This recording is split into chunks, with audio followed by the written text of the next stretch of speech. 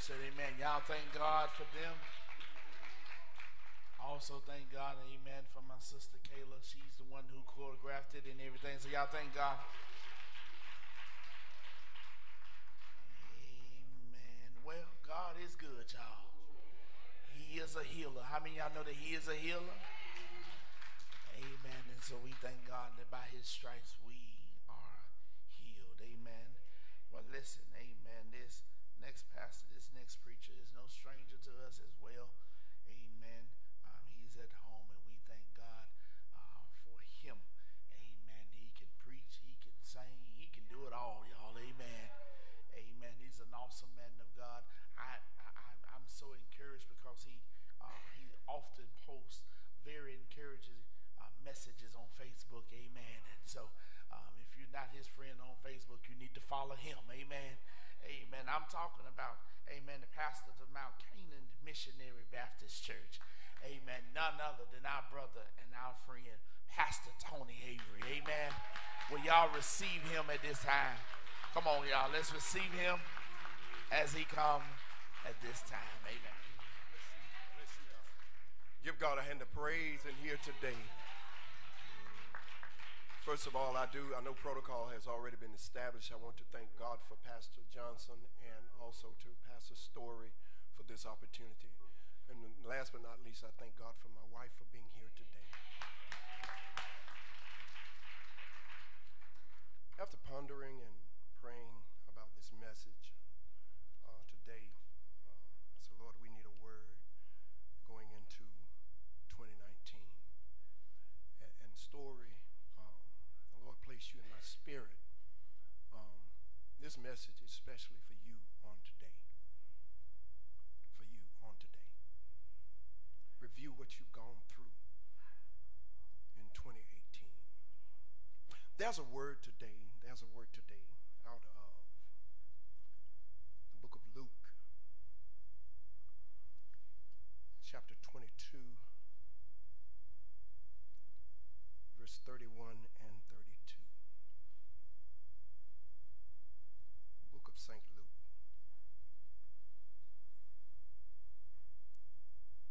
Chapter 22, verse 31 and 32. After you have found it, register by saying amen. this is the word of God for people of God. And the Lord said, Simon, Simon, Satan has desired to have you, that he may sift you as wheat. But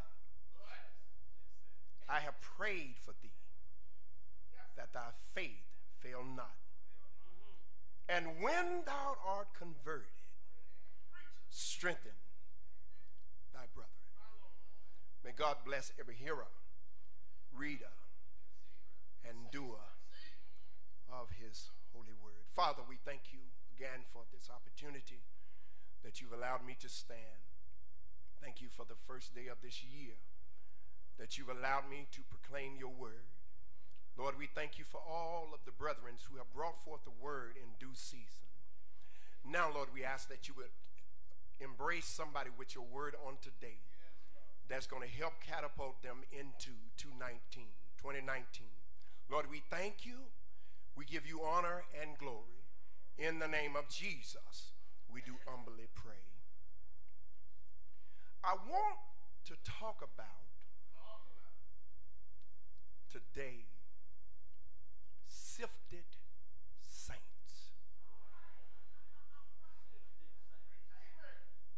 Sifted saints. My brothers and sisters, God has a desire to make and mold us into what he desires us to be and to do. What God does is he uses trials and tribulations during this process of sifting as saints of God, not all of our circumstances, not all of our situations that will happen to us in life will be good. You're going to have some good days, and you're going to have some bad days. But when you put them all on the scale, all of your good days will suddenly outweigh your bad days. Can I get some help in here today? We're going to have some good days. We're going to have some bad days. But, but here's, here's the truth of the matter. We can make it if you just hold on to God's unchanging hand. Here it is. The truth of the matter is this all of us are going to go through some kind of a sifter. Whether you believe it or not, uh, whether you're a deacon or preacher, you're going to go through some kind of a sifter.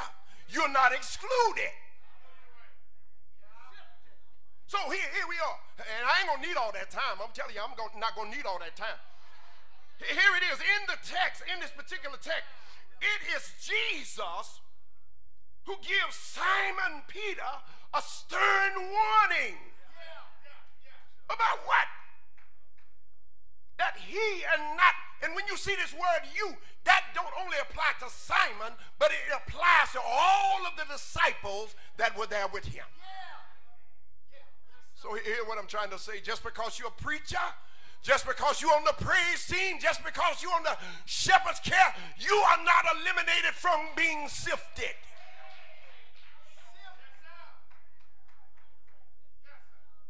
And what Jesus does, and, and, and, and, I don't know about y'all, but, but Jessie Pearl used to call me. She used to say, Tony, and, and if I didn't hear her the first time she called me, she would call me again. Guess what it was meant? It was to get my attention. And all Jesus is doing in this text, trying to get his attention, to let him know that what you're about to go through, it ain't no cakewalk but it's real. Look at who Peter was.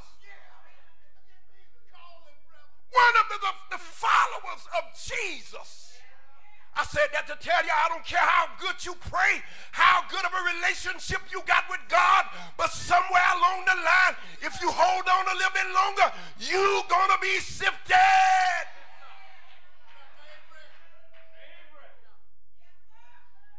Can I tell you this? Satan don't care what kind of relationship you got with God. How do you know? If he bothered Job, guess what? He'll bother you. If he bothered God's only begotten son when he was led into the wilderness to be tempted, we ain't no better.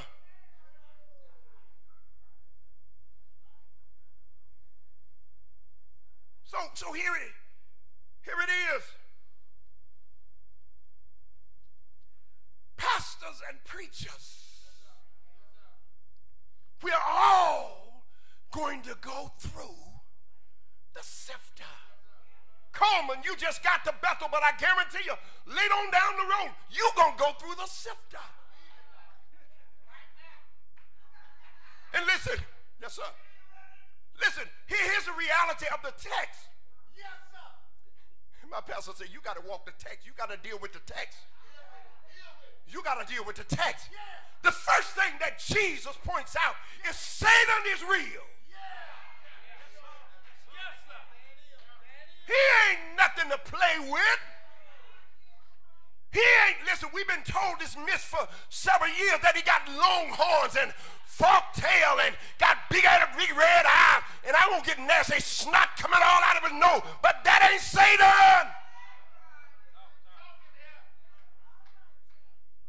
He's real. And ain't no need you think you can fight him fighting a physical battle because the Bible said that he is spiritual. The reason I can tell you he's real today, Stiggers, because Jesus calls him Satan. And then he calls him a he. And as I move to the text, the Bible says that not only did Jesus call him Satan, but Jesus says that what he was a he, not only did Jesus call him Satan and said that he was a he, he said that Satan have some of our quality. He has a desire to sift us. Don't you think that Satan ain't looking at you the moment that you accepted Jesus Christ into your life? A big bullseye was painted on your back. He got you under the microscope. When you working, you think he ain't looking at you. Guess what? He's looking at you. Got GPS to your house, GPS to your church. But but here, here, here's, here's something very important. Jesus says that Satan has desired to sift you. Now, in this desire, as I read the text and as I studied the text, the desire wasn't just a desire. The, the, the desire was a request to God to have Simon. And I'm trying to help somebody here today. Listen, uh, before Satan can have you, he got to get God's permission. Can I get some help in here today? So, so, so here it is. And somebody don't believe that, that he has to have your permission. Here it is. The Bible says when, when, when, when, when Satan and God came together, so in the book of Job, the Bible says that Satan says to him, Does Job serve you because of all the things that you have given him? Does Job serve you simply because you've been blessing him with all of the cattle, all of his servants, all of his children. But I discovered something about Job after all that he had went through, going through the sifter. Two things that he didn't lose. he didn't lose his mind. He didn't lose his faith. And most of all, he stayed with God. So here, here it is. Satan don't care. Listen, he'll use any opportunity that he can to sift you. He'll use any situation to damper your faith in Jesus. He wants us to doubt the Lord. And this is what I discovered, Pastor Stiggers. If he can destroy our faith, he automatically wins the battle then there goes your trust. There goes your hope. There goes your dreams. But I discovered something a sifter has a purpose. Here's what I discovered the sifter can bring out the good I wish I had a praying, praying church in here. And the sifter can bring out the bad. I'm about ready to leave. But but but listen, my grandmother, when she would walk through the kitchen, when she got ready to, to, to, to bake a cake, this is what she would do. She would get out the Martha White plain flour and she would pour it into this contraction called a sifter and she would begin to turn. Listen, the screen ain't nothing but your faith in that sifter. She would begin to turn that handle and as she turned the handle, we begin to see fine flour flow to the outside on the inside of the bowl. But what you did not recognize was on the inside of the sifter was some lumps. I didn't see it at first, but where she began to turn and yearn, there come the lumps on the outside. I stopped by to tell somebody there's some good in the best of you, worst of you. There's some bad in the best of you. Here it is. In order to go through the sifter, we got to get rid of some things. We got to get rid of some folk Everybody that's on your front row ain't designed to be on your front row. Some of them need to be in the basement.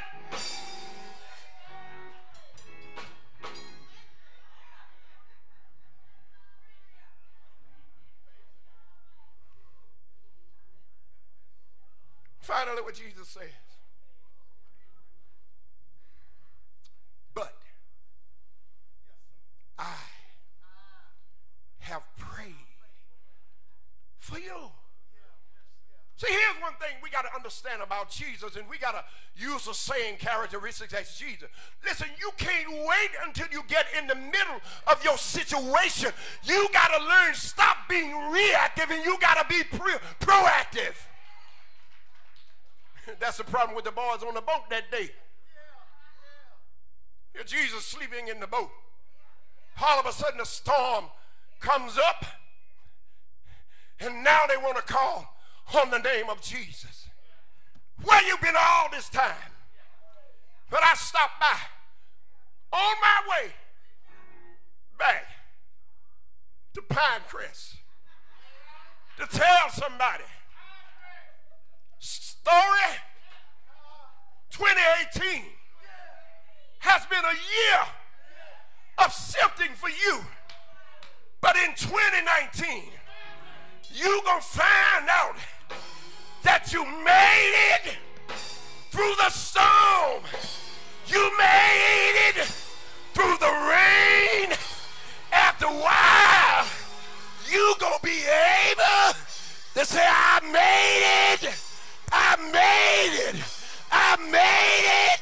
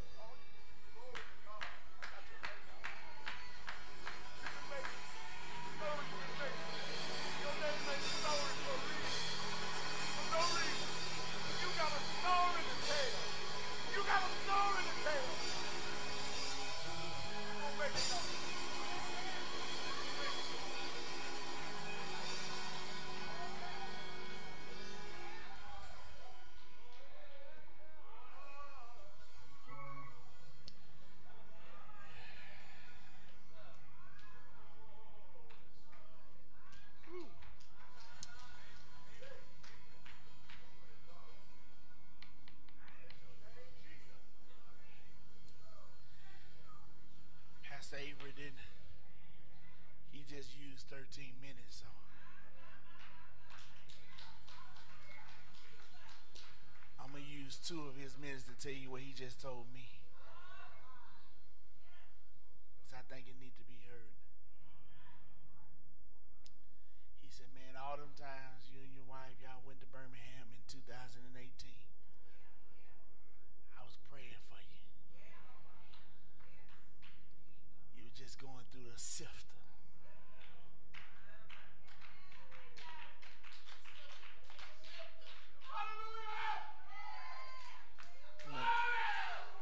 This where he just messed me up at, Pastor.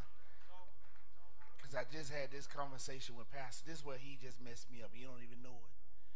He said, but your name ain't Story for nothing.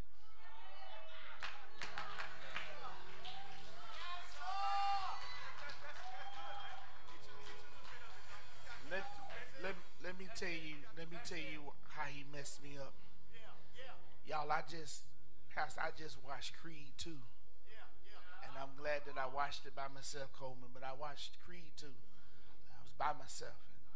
And then Creed 2, at the end of Creed 2, after he was fighting his daddies, the one who defeated his daddy, he was fighting the son. He was fighting the son. And Creed had been knocked down two or three times.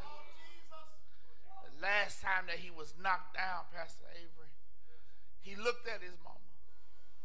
His mama said, Get up. He looked at his girl. His girl said, Get up.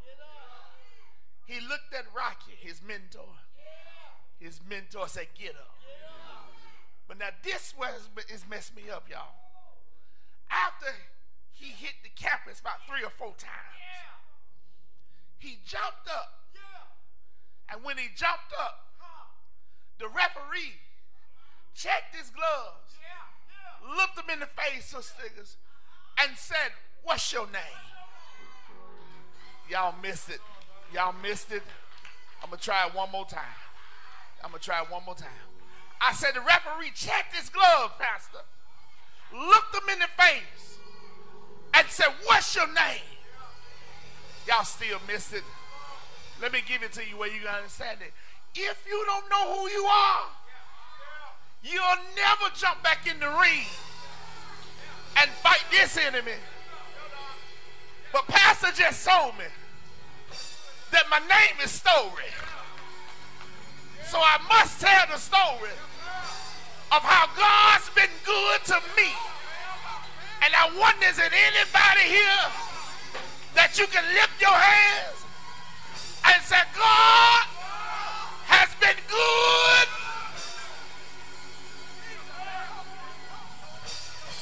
What's your name? What's your name? You are a conqueror. What's your name? You are more than a conqueror. What's your name? You are the head and not the tail. What's your name? You can win. V-I-C-T.